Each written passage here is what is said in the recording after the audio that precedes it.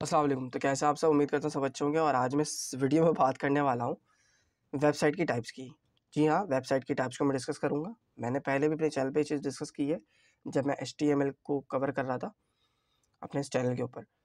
तो बात करूँगा मैं वेबसाइट की टाइप्स की कि वेबसाइट की कितनी टाइप्स होती हैं। वेबसाइट की दो टाइप्स होती हैं static website dynamic website.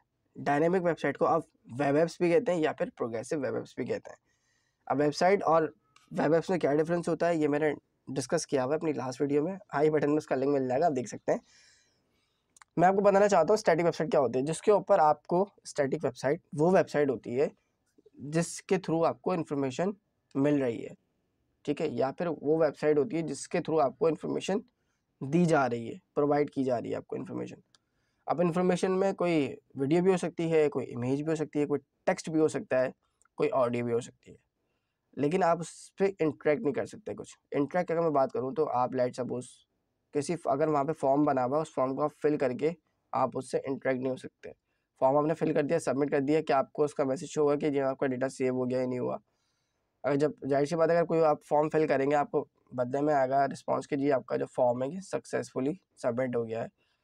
या आप फॉर्म फिल कर रहे हैं, या फॉर्म फिल करने के बाद वो डेटा आपका सेव हो गया, आपको जो मैसेज मिल रहा है, आप उससे क्या कर रहे हैं, इंट्रैक्ट कर पा रहे हैं। आपको पता चला कि जी मैंने जो इन्फॉर्मेशन दी है वो मेरी सेव हो गई है। ठीक है इस वेबसाइट में मौजूद है। मैं नेक्स्ट टाइम जब भी आऊँगा तो मुझे रजिस्टर नहीं करना पड़ेगा। अपने आपको मैं डायरेक्ट लॉग इन करूँगा और मैं इस वेबसाइट में आ जाऊँगा। यानी इस वेब एप्स में आ जाऊँगा। तो मैं ये बात कर रहा था कि अब जो है वो डायनेमिक वेबसाइट यानी वेब ऐप्स चलती है।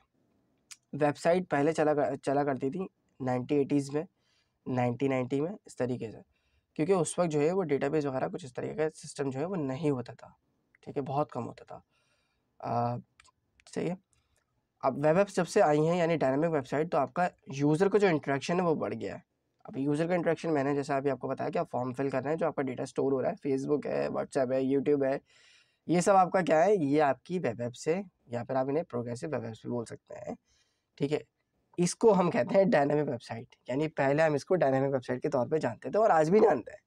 जब आप शुरू में कोर्सेज पढ़ते हैं इसके बारे में तो आपको इस तरीके से ही समझाया जाता है। तो इतना ही रखूँगा कि आपको समझ में आएँगी चीज़ें कि वेबसाइट स्टैटिक वेबसाइट क्या होती है और डायनेमिक वेबसाइट क्या होती है। ठीक है? आई होप ये आपको वीडियो पसंद आई होगी। अगर अब लेआउट की अगर मैं बात, अगर लेआउट की बात करें तो लेआउट तो वेबसाइट के बहुत तरीके के होते हैं। लाइक एलएमएस होता है लेटिंग मैनेजमेंट सिस्टम होता है, कोई न्यूज़ वेबसाइट होती है या कोई सोशल मीडिया वेबसाइट होती है तो ये तो वेबसाइट की क्या है? ठीक है? ये टाइप्स नहीं, ये बेसिकली वेबसाइट के पैटर्न एक तरीके से। तो आपको समझाने के लिए आज के लिए इतना ही। मैं मिलता हूँ फिर आपसे नेक्स्ट वीडियो में। So till then keep learning and keep exploring thank you